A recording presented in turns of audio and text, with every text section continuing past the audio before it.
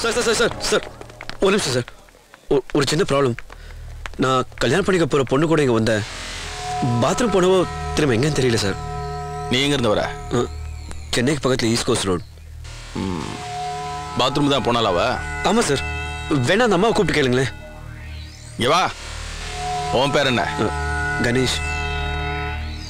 ஏமா நீ தான் இங்க வேலை சரியா ஆமா சார் இந்த ஆள் கூட ஒரு பொண்ணு வந்ததே அந்த பொண்ணு பாத்ரூம் போனதை பாத்தியா?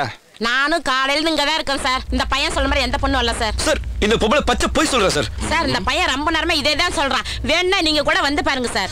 சார் இப்போ கொஞ்ச நேரம் முன்னாடி பார்த்து சொல்லுங்க சார். எங்க ஏரியா நான் வரேன். கொஞ்சம் சீக்கிரமா யோ உள்ள போய் தேடுங்கயா ஓகே சார். ஏமா எத்தனை வருஷம் வேலை செய்றீங்க? மூணு வருஷமா செய்யறேன் சார். யாராச்சும் ரவுடி பசங்க வரதை பாத்தியா? காலையில இங்க தான் இருக்கேன் சார். சத்தியமா இல்ல சார். ம். எவனாச்சும் இந்த பக்கம் இருந்தான்னு தெரிஞ்சது முதல்ல ஒன்னதான் உள்ள யாரும் இல்ல சார். தேடி அந்த பக்கம் போக வேற வழி இல்ல சார்.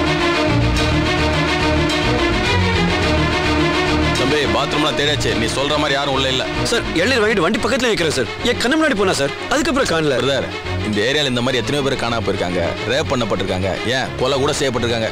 போலீஸ்காரங்களும் எவ்வளவுதான் பாடுபட முடியும்னு சொல்லு. எல்லாம் உங்க வயசு பசங்களும் பொண்ணுங்களும் தான். வீட்டுக்கு தெரியாம வந்துட வேண்டியது. பொம்பளை மாட்டிக்கிட்டா எங்க உயிர் எடுக்க வேண்டியது? இல்ல சார். நான் கல்யாணம் பண்ணிக்க போற பொண்ணு சார். சொல்றது நமக்கு சார். இங்க பாருப்பா தம்பி மாற்ற எல்லா பசங்களும் இதே கதை தானே சொல்றீங்க? பேப்பர்லயும் டிவி நியூஸ்லயும் பார்த்து கூட நீங்க திருந்த மாட்டேங்கிறீங்களாப்பா? இல்ல சார். சத்தியமா சார். நான் சொல்றது நம்புங்க சார். நான் கல்யாணம் பண்ணி இங்க பாரு. நீ என்ன பண்ற? பக்கத்துல ஈசிஆர் மொபைல் ஸ்டேஷன் இருக்கு. போய் டீட்டெயிலா ஒரு கம்ப்ளைண்ட் எழுதி கொடுத்துட்டு போ. இது ஏன் ஏரியா இல்லப்பா. ஏதோ நீ சொன்னியேன்னு விசாரிச்சேன். சாரி தம்பி. சார். என் தங்கச்சி பிரியாவை கணேஷ்னு ஒரு காலி பையன் கிட்னாப் பண்ணிட்டான். நீங்க என்ன பண்ணுவீங்களோ ஏது பண்ணுவீங்களோ எனக்கு தெரியாது. ஒரு மணி நேரத்துல அவங்க ரெண்டு பேரும் முன்னாடி இருக்கணும். சார் என் தங்கச்சி எனக்கு வேணும் சார். அவனை சும்மா விடக்கூடாது. Sir please sir. என்ன இன்னும் பேசிட்டு இருக்கீங்க? உடனே ஆக்ஷன் எடுங்க சார்.